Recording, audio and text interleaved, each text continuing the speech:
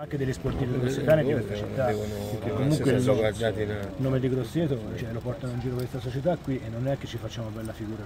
Quindi non è soltanto l'allenatore i calciatori ma qui principalmente c'è gli sportivi e tutta la città grossetana non mi sembra giusto che Grosseto si debba ritrovare in questa situazione.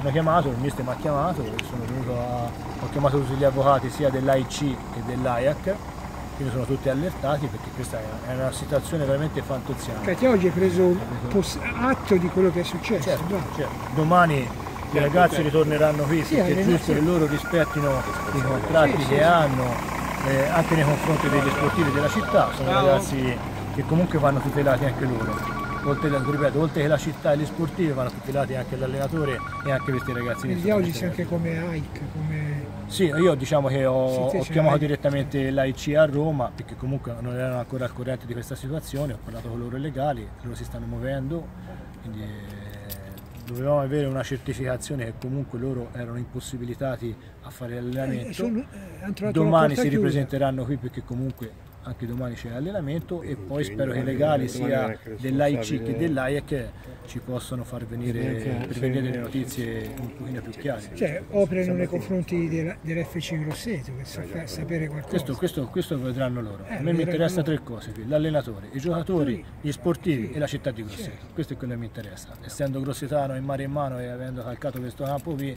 mi piange veramente il cuore certo. vedere una situazione a questo modo e che questa cosa vada a ricadere principalmente su questi giocatori sono veramente dei ragazzini e dei bimbi che vanno comunque rispettati.